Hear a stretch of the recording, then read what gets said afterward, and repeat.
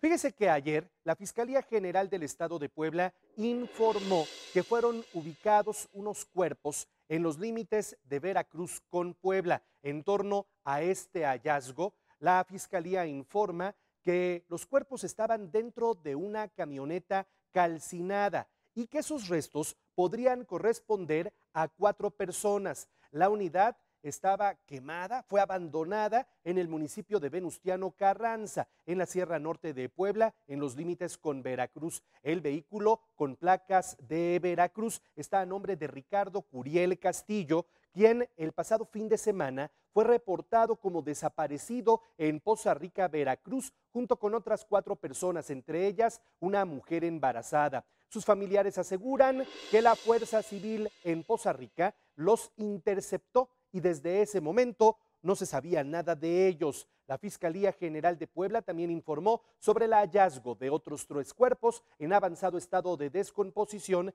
al interior de las instalaciones de Pemex, conocidas como Corralillo. Se investiga si existe vínculo entre ambos casos. En Veracruz se les buscaba y finalmente encuentran un vehículo donde hay restos de esas personas y además en instalaciones de Pemex se encuentran más cadáveres. Es frecuente que cuando en Veracruz ocurren crímenes de este tipo, vengan al estado de Puebla a botar los cuerpos.